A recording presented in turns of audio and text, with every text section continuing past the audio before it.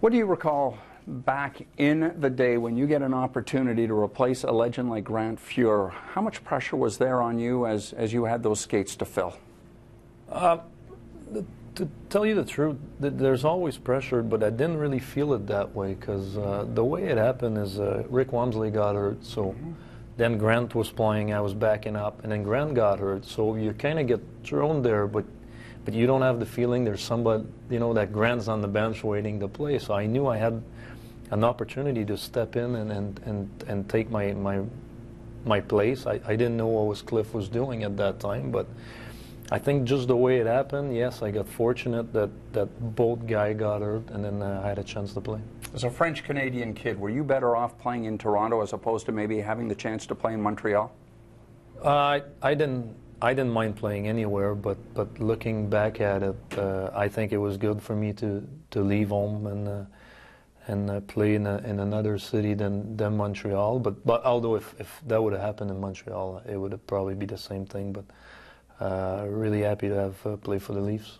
So much leadership in that room. Let's talk about the leadership behind the bench. What made Pat Burns so special that allowed all of you guys to play and come together as a team? Well, Pat knew how to deal with the guys. I think uh, he was tough when he had to. He was he was good when he had to, but but mostly he was a fair guy. I think he uh, everybody knew what he was demanding. They had the the right uh, the right the right time with it, and uh, he knew how to deal with, with this guy.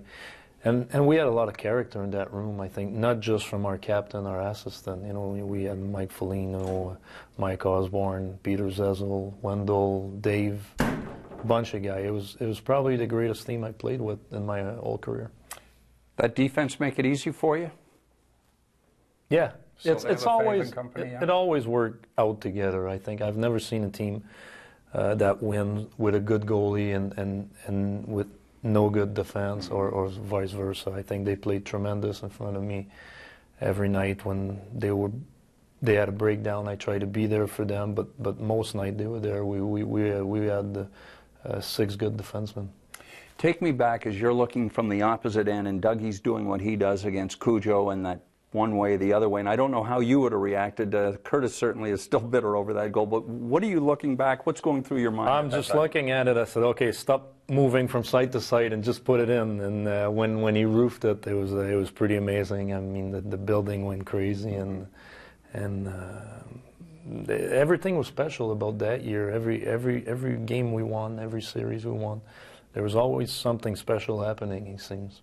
Felix, it's so close to separate teams that win Stanley Cups and don't. Uh, that club very easily could have won a Stanley Cup. Uh, it must have been disappointing to, to lose out to Los Angeles the way it did end in Game 7. Yeah, it was uh, it was heartbreaking. I think we had a, a tremendous chance of, of winning it in in, L- in LA in Game Six, and uh, uh, we just couldn't pull it off. There was a couple of uh, penalty call, and, and and they scored in overtime. And in Game Seven, um, Wayne just took over. It was uh, probably one of his greatest game, and uh, it's just it's just too bad we couldn't pull, pull it off.